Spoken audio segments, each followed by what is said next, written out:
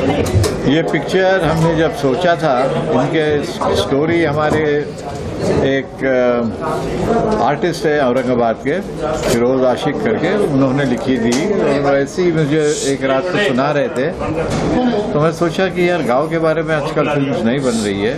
तो एक छोटी सी फ़िल्म बनाते हैं गाँव के बारे में, एक शेड्यूल करेंगे, पंद्रह, सोलह, बीस दिन में शूट करके, ख़त्म करके। एक एक्सपेरिमेंट किया था। तो वो स्टारकास्ट के लिए स्वप्निल को, दुर्गा जायसवाल को चूज़ किया था। क्योंकि उनकी केमिस्ट्री अच्छी थी।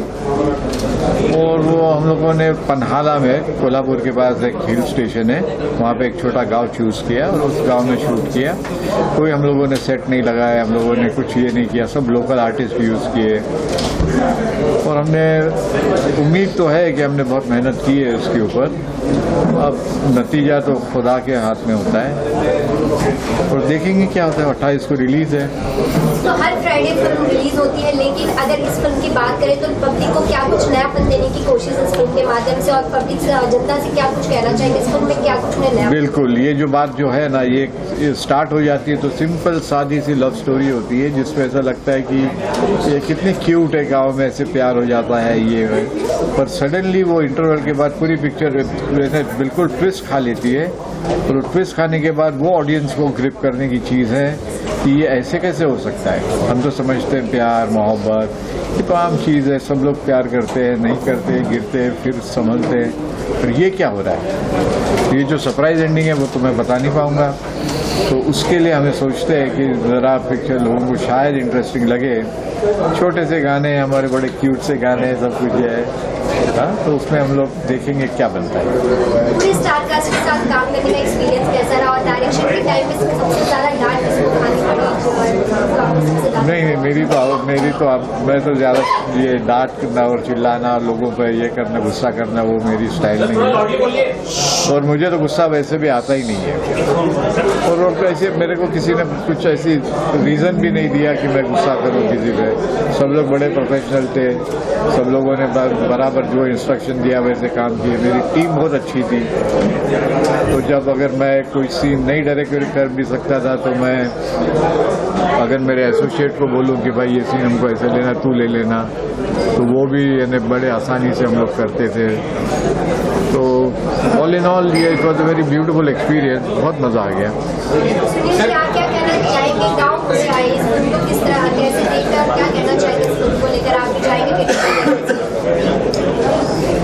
Being Maharashtrian, I'm very feeling proud की मराठी हां मराठी.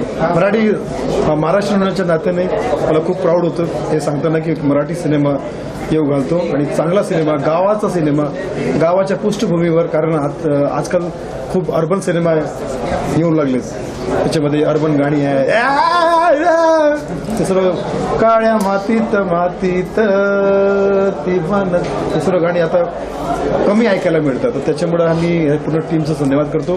की स्पेसिफिकली आणि टायटलमध्ये सुद्धा गाव मेन्शन केलेलं आहे. त्याचा क्लिअर मेन्शन आहे की बाबा हाच गा सिनेमा जो आहे गावावर आधारित आहे. गावाच्या प्रॉब्लेम्सवर गावाच्या संस्कृतीवर गावाच्या प्रत्येक मोमेंटवर आधारित आहे. तर त्याच्यामुळं मला वाटतं की जो गावाशी जोडलेला आहे आणि मला वाटतं की आपण भारतामधली प्रत्येक कुठल्याही क्षेत्रातला माणूस असतो तो गावाशी नेहमी जोडलेला असतो.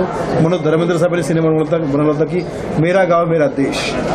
गावालाच आपण देश मानतो कारण असली संस्कृती असली भारतीयता आपल्याला गावामध्येच बघायला मिळतं. तर असा सिनेमा जर कुठे बघायला मिळेल किंवा येतोय तर मला वाटतं की सर्व गोल्डन चान्स आपल्यासाठी लवकरात लवकर गेलं पाहिजे आणि हा सिनेमा विथ फॅमिली बघायला पाहिजे. आणि मुलांना लहान मुलांना सर्वांना कळेल की भारतातले छोटे छोटे गाव म्हणजे किती विविधतेने नटलेले असतात म्हणजे किती सतरंगी आणि त्याच वेळी किती अतरंगी असतात. शमीम जी कनाडा से शहर मतलब देश में रहे क्या कहना चाहिए वहाँ का जो एक्सपोजर था, बाद में हिंदी फ़िल्में बनाई अपने आप मराठी बना रहे हैं। मैंने तो काफ़ी, मैं तो ज़्यादा करके इंग्लिश में पहले ज़्यादा ये था और मुझे जैसे भी, जो भी मेरा रोल होता था, ऐसे स्टोरी के अंदर स्क्रीन प्ले के अंदर डायरेक्शन के अंदर, वो मैं बहुत बरसों से करता गया। और अभी लग रहा था कि मुझे इंडिया में कुछ करना चाहिए तो मैंने आया और मैंने पहली एक हिंदी फ़िल्म बनाई थी, लाखों हैं यहाँ दिल वाले। और, जो हमारे भाई है, छोटे, विजय भाटिया जिसने ये गाना तू पूजा मन पूजा का किया, वो हमारे हीरो थे वो उनकी, और उसके साथ में एक न्यू कमर हीरोइन भी थी तो हमने वो पिक्चर बनाई और ये सोचा था हमने कि अगर मैं 10-20 गाने ले लेता हूँ, पुराने तो अच्छा होगा बट वो कुछ इतना सक्सेसफुल नहीं रहा। फिर उसके बाद में तीन मराठी फ़िल्म बनाई। अभी सोच रहा हूँ थोड़ा ब्रेक लेके वापस कैनेडा चला जाऊँ और फिर से मैं इंग्लिश पिक्चर बनाऊँ। सोच रहा हूँ। और गिरीश हमारे बहुत अज़ीज़ हैं। वो कह रहे थे कि अभी एक मराठी हिंदी सब्जेक्ट है मेरे पास। बोले पहले तुम हिंदी बना लो फिर चले जाना। तो जानना चाहूँगा क्या आकर्षित है आपको मराठी फ़िल्म इंडस्ट्री तो काफ़ी अच्छी कंटेंट बिकॉज़ मैं मराठी साफ़ बोल लेता हूँ। तो मेरे को हालाँकि मैं मराठी नहीं हूँ। पर फिर भी मैं मराठी एकदम ही साफ़ बोल लेता हूँ। तो मेरे को बड़ा शौक है क्योंकि मैंने उनके जो आर्टिस्ट है मराठी के वो कोई अलग लेवल पे, और उनके साथ काम करने में डेडिकेशन मिलता है। हिंदी में तो क्या है ना स्टार सिस्टम है कि तुम्हारे पास शाहरुख खान है, सलमान खान है तो यू नो तुम्हारी पिक्चर एक एक लेवल की होती है, या नून लोग होते तो उसकी लेवल नहीं होती। तो मराठी में ऐसा बहुत कम होता है। इसलिए मैं मराठी पिक्चर करना पसंद भी करता हूँ और मैं ज़्यादा ये सब चीज़ें पैसों के लिए नहीं करता हूँ। तो मेरे को ये लगता है कि यार जो सेटिस्फैक्शन मिलता है, जो चीज़ होती है अपने दिमाग में, उसको तुम पर्दे पे लाते हो तो वही मेरा इनाम होता है। और जैसे स्वप्निल जैसे डेडिकेटेड एक्टर्स होते हैं जो रोल के अंदर घुस जाते हैं तो और भी ऐसा लगता है कि जो मैं कर रहा हूँ गलत नहीं कर रहा हूँ। तो मैं तो यही कहना चाहूँगा कि आज के दौर में मराठीतच बोलतो ना मराठी फ़िल्म आहे म्हणून मराठीमध्येच बोलतो की आमचे जे डिरेक्टर आहेत अ, निर्माते आहेत मुन्नावर शमीम भगत सर तर खूप डेडिकेशनने कामं करतात आणि प्रत्येक गोष्ट जे विचार करतात तेच ते करायचा प्रयत्न करत असतात. आणि ह्या चित्रपटामध्ये पण त्यांनी तेच करण्याचा प्रयत्न केलेला आहे. आणि जसं ह्यांनी आता प्रश्न विचारलेला की सरांना की तुम्ही सेटवर कधी रागवले नाही कोणावर चिडले नाही? त्याचं कारण असं की आम्ही फिल्म सुरुवात करण्याच्या आधीपासनं ह्या चित्रपटावर भरपूर मेहनत घेतलेली आहे. आम्ही वर्कशॉप्स केलेले आहेत दिवसेंदिवस. आणि त्या वर्कशॉपमध्ये आमच्याकडनं काही चुका होत असतील तर त्या सरांनी आमच्याकडनं बरोबर करून घेतलेल्या आहेत. आणि त्यामुळेच सरांना आम्ही चिडण्याची संधी दिली नाही. त्या चित्रपटामध्ये. आणि खरोखर खूप छान टीम अशी सरांनी निवडलेली या चित्रपटासाठी. आणि त्याचमुळे आम्हाला हा चित्रपट खूप छान पद्धतीने करता आला.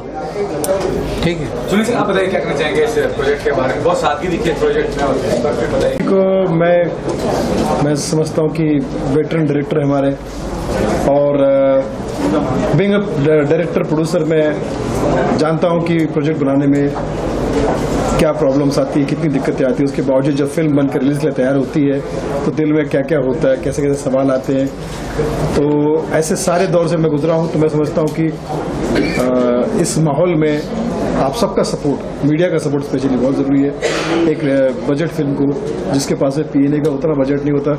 हिंदी फ़िल्मों के लिए कॉर्पोरेट फ़िल्मों में क्या होता है उनके पास अनसन बजट होता है उनके पास बेकार का ही करोड़ों का बजट होता है जो किसी मतलब का नहीं होता वो बेकार का ही बजट इतना ज़्यादा होता है उसमें छोटी चार चार फ़िल्में बन जाती हैं तो मैं समझता हूँ कि ऐसे में हमारा कंपटीशन जो है उन लोगों से है जो थिएटर घेर के बैठे हैं और थिएटर माफिया जिनको कहा जाता है। तो मैं समझता हूँ कि ऐसे माफिया को हम माफिया नहीं देंगे माफ़ी नहीं करेंगे माफ़ नहीं करेंगे और हम अच्छे कंटेंट को लेकर आएँगे। आफ्टर ऑल सबको पता है हिंदुस्तान में हिंदुस्तान की जो ऑडियंस है वो बहुत भावुक है बहुत इमोशनल है और वो कंटेंट पे ही फ़िल्म देखी जाती है, चाहे वो मराठी हो, चाहे हिंदी हो, या किसी भी रीजन की हो, किसी भी भाषा की हो। तो मैं समझता हूँ कि कंटेंट जो है, वो बेस्ट है तो ऑडियंस आएगी और फ़िल्म देखेगी। यही निवेदन है कि आप आइए जरूर देखिए. सांगितलंय ते म्हणजे आम्ही जे दाखवायचं तुम्हाला तेच दाखवलंय कारण त्याच्यामध्ये आम्ही सिक्रेट्स आहेत. ते आता उघडता येत नाही आम्हाला. तर आम्हाला जेव्हा म्हणजे पिक पिक्चरमध्ये ते तुम्हाला दिसेल. आणि त्याच्याकरता मी आम्ही म्हणजे ट्रेलर म्हणजे जेव्हा आम्ही ट्रेलरचं ही एडिटिंग केली तेव्हा मी म्हटलं होतं की आपल्याला ते सर्व दाखवायचं नाही. आपल्याला जे ऑडियन्सपर्यंत जा- आता गेलेलं म्हणजे ते त्याचा आम्हाला प्रॉब्लेम होता तेच सर्व दाखवलंय. आणि दुसरा प्रश्न काय होता तुमचा? गावाचं फिल्म आहे की स्पेशल या चित्रपटाच्या स्किटवर भरपूर अभ्यास केलेला आहे. तर सगळ्या गोष्टी आधीच क्लिअर होत्या की सरांना कशा पद्धतीची ही फिल्म बनवायची आहे. आणि त्याच प्रकारे त्यांनी ही टीम सगळी जमा केली. आणि तुम्ही ट्रेलरमध्ये तुमच्या सांगण्यानुसार तुम्ही ट्रेलर ट्रेलरमध्ये बघितलं गाण्यांमध्ये बघितलं. आणि तुम्ही सांगताय की त्या ट्रेलरमध्ये आणि गाणी बघून तुम्हाला त्या त्याच्यामध्ये एक कुठेतरी हां हा गावाच्या मातीचा फील जो येतोय तीच खरी आमची मेहनत ती दिसून येते. तुमच्या माध्यमातून तुम्हाला जी गोष्ट कळते हे आम्हाला पोचवायचं होतं तुमच्या सगळ्यांपर्यंत. ते पोचलेलं आहे या गोष्टीचा आम्हाला सगळ्यांना आनंद आहे. बरोबर. या फ़िल्म में वो सारे एलिमेंट्स है जो कि एक सक्सेसफुल फ़िल्म में होने चाहिए। इमोशंस है अच्छा म्यूज़िक है म्यूज़िक आप सारे लोगों ने सुना। म्यूज़िक बहुत ही कमाल रहा है और और मुनवर साहब की सारी फ़िल्मों में विशेषता ये रही है। कि सारी फ़िल्मों का म्यूज़िक बहुत अच्छा होता है। तो खासकर आज का जो प्रेस मीट था, उसमें हम चाहते थे कि प्रेस ट्रेलर्स भी देख ले और साथ ही साथ म्यूज़िक भी सुने। म्यूज़िक बहुत अच्छा है। मनोहर साहब सर के साथ मैं करीब तीन या चार सालों से काम कर रहा हूँ। इसके पहले वाली फ़िल्म निवड़ुंग भी हमने डिस्ट्रीब्यूट की थी। ये फ़िल्म भी बहुत प्रॉमिसिंग है। 28 फेब को रिलीज़ हो रही है और इस फ़िल्म में वो सारे एलिमेंट्स हैं, वो सारी चीज़ें हैं जो कि इमोशनल फ़िल्म में होनी चाहिए। उनकी खासियत है, वो हमेशा रूटेड फ़िल्में बनाते हैं, उस तरीके की फ़िल्में बनाते हैं जो कि इमोशनल हो जो आ, जो जिस तरीके की फ़िल्में बननी चाहिए जिसको मीनिंगफुल सिनेमा कहते हैं। ये फ़िल्म में भी उन्होंने गाँव की कहानी कही है और गाँव में अपनी अपनी गाँव की अपनी शैली होती है, अपनी विशेषताएँ होती है और जिस तरीके से प्रोमो इसके कटे हैं और जिस तरीके से ट्रेलर नज़र आ रहा है, वो बहुत ही इम्प्रेसिव है। मुझे लगता है कि ये आज के आज के इस इवेंट के बाद लोगों को ट्रेलर पसंद आएगा। सॉन्ग्स ऑलरेडी लोगों को पसंद आएँगे और साथ ही साथ यूट्यूब पे है और ऑलरेडी म्यूज़िक कंपनी इसको प्रमोट कर रही है। डिजिटल स्पेस पे भी इसका अच्छा प्रमोशन है। तो मुझे लगता है कि लोगों को फ़िल्म पसंद आएगी। 28 तारीख को आप ज़रूर ये फ़िल्म देखिए।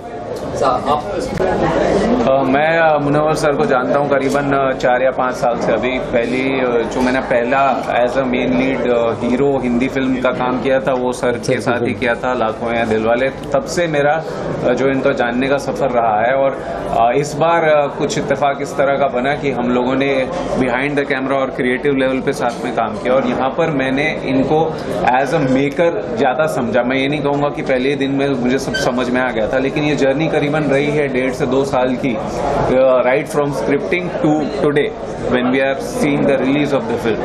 So, I have seen him as a filmmaker over the period of four years and over the period of last two years. जिस तरह ये इवॉल्व हुए हैं और मैं ये इसलिए नहीं कह रहा हूँ कि मेरे बगल में बैठे हैं और मुझे इनकी तारीफ़ करनी है, ऐसी बात नहीं है मैंने जेनुइनली मेरे पास वो मैसेजेस इनके सेव्ड हैं, जो पहले फ़िल्मों के बारे में हमारी बात होती थी और जो अब होती है फ़िल्म मेकिंग को लेकर, जैसे गिरीश ने बहुत ही बहुत ही अच्छी तरह से कहा कि ये सिनेमा बना रहे हैं ये वो लोग हैं जो सिनेमा बनाना चाहते हैं कुछ लोग हैं जो सिर्फ़ पैसा बनाना चाहते हैं। हाँ ठीक है money is very important it is business कौन नहीं चाहता कि पैसा कमाया जाए? लेकिन Munawar sir makes sensible cinema compromise नहीं करनी। है और उसके बावजूद भी जो हमने काम किया है it is at a record breaking speed and not that we have you know overstretched our limits या फिर बारह बारह घंटे या पच्चीस पच्चीस घंटे काम हो रहा है नॉन स्टॉप हो रहा है ऐसा कुछ नहीं। आराम से काम हुआ बहुत बढ़िया काम हुआ।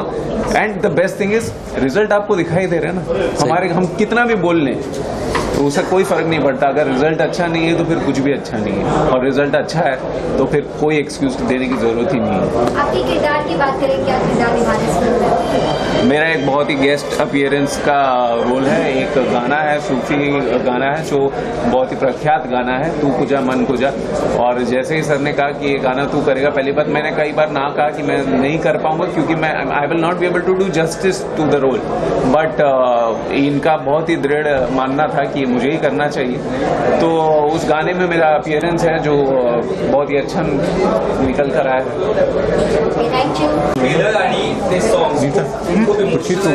स्पेशल है. गाने और ट्रेलर दोनों बहुत ही अच्छे हैं. लग रहा है कि बहुत ही ध्यान से बहुत अच्छी तरह से बनाया गया है। कुछ भी कमी नहीं छोड़ी गई है क्योंकि वो कनेक्ट हो रहा है। इस तरह का गाना सुनकर देखकर मुझे तो बहुत अच्छा लगे सब गाने। और वो कवाली नहीं थी क्या था? नाथ। नाथ। नात बहुत अच्छा लगा सबसे अच्छा लगा वो। और I wish my friend Munawar Bhagat all the best for Gaon Pune Aahe and I am looking forward to seeing the whole movie Aruna ji आप क्या कहना चाहेंगे? आपने ट्रेलर देखा और जिस तरह से सॉन्ग आपने सुना है कितना अच्छा लगा आपको? और जो कोशिश इन्होंने की है जो जो फ़िल्म और काफ़ी इन्होंने किया हुआ मराठी में जो लेकर आ रहे हैं आपको कितना पसंद और क्या लगता है दर्शकों को कितना अच्छा See, मुझे लगता है इमोशन बड़ी इंपॉर्टेंट चीज़ है। अगर इमोशन है तो ऑडियंस को आइडेंटिफाई करने के लिए आसान हो जाता है। और मुझे ग्लिम्पसेस मुझे देखे दिखाई दिए इमोशन के और I think that's very important because audience के लिए जब भी जाते हैं तो वो that is a hook and you need that because अपना you identify and I think I could see in glimpses emotion है और लव स्टोरी में भी यू नो उतार चढ़ाव है and that's what people like to see so I really all the very best thank you madam and hope you have a great success. Thank you. Thank you different यही एक तो इन्होंने जो नाच डालने का जो एक्सपेरिमेंट किया है मैं खासी ये बाय चांस ही लोग करते हैं तो ये एक इनका एक्सपेरिमेंट शायद बहुत ही अच्छा है वो एक अच्छा लगा। और दूसरी बात ये है कि जो अच्छी लगी कि ये इन्होंने ये जो एक इतनी लेट टाइम पे एक इनिंग शुरू की है तो उसमें इनका डेडिकेशन ज़्यादा लगता है मुझे।